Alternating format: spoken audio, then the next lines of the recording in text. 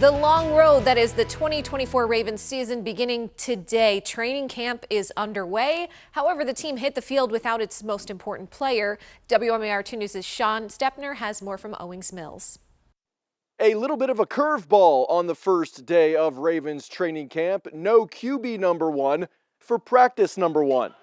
Lamar Jackson absent. The reigning NFL MVP out with an illness. Started getting sick yesterday uh, midday, was in the meetings, started getting sick. It got kind of not good, you know, so uh, tried to get in today and, and get rest and then get fluids and things. It just wasn't good. So the doctors sent him home. Head coach John Harbaugh doesn't know when Lamar will be back, only saying, quote, when he's not sick anymore. Harbaugh does know this. In his opinion, Lamar Jackson doesn't deserve the criticism he gets. He says he watches and reads the commentary. On day one of camp, he made sure everyone knew his commentary. Lamar Jackson is going to become and be known and be recognized as the greatest quarterback ever to play in the history of the National Football League. That's the vision, all right?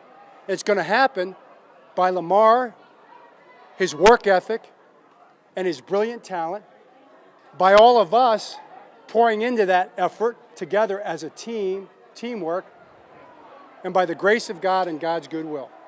That's how it's going to happen and I believe it like we've already seen. Quite the statement from Harbaugh beginning year number 17 leading the Ravens. Rashod Bateman beginning year number four at receiver, expecting a bigger role in the offense. I just got to, you know, go out and show consistency um, so Lamar can trust me, so the team can trust me. With the return of training camp every year brings the return of the fans, the flock filling up the stands to get their first glimpse of this year's group. How they look right now? Perfect. I Think we could make it to the AFC Championships at the least. I love them, and we're going all the way. One step at a time. That next step actually happens on Monday afternoon. Training camp practice number two at 1:20. In Owings Mills, Sean Stepner, WMAR2 News.